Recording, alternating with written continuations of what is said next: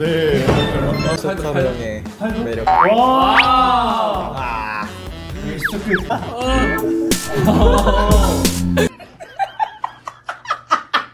아, 네, 제 매력 포인트는 바로 입술이라고 생각하는데요. 입술로 보내주세요. 어떻게 보내주는 거야? 어. 아, 오 마이 갓, 오 마이 갓. 처음 봐.